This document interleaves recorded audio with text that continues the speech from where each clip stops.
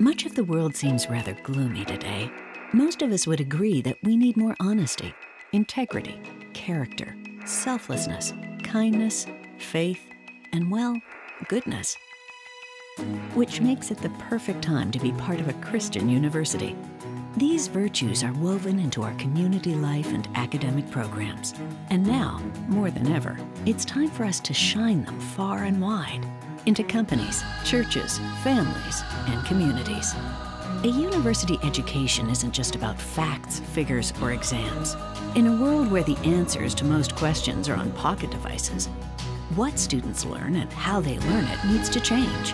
EQ is as important as IQ. Wisdom as vital as knowledge.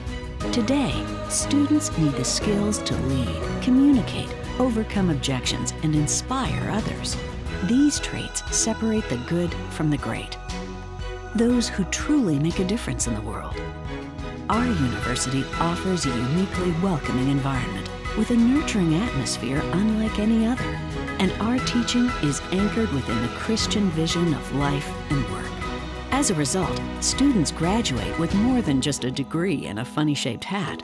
They leave with a sense of belonging, a higher purpose, and a better shaped view of the world one that only comes from a deep appreciation of God's purposes.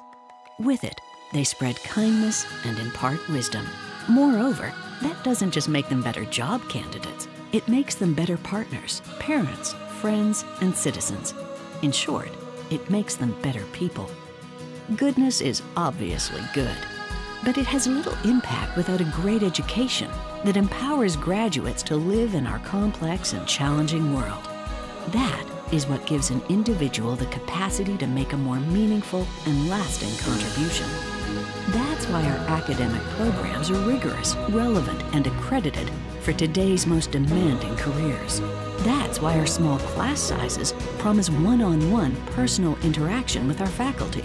And that's why our professors, lecturers, and mentors are well respected, outstanding teachers and researchers in their respective fields who bring a Christian context to all aspects of learning.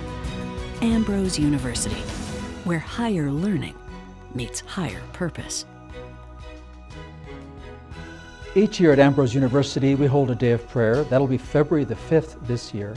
And we invite you to join us as we pray for our faculty, our staff, and our students.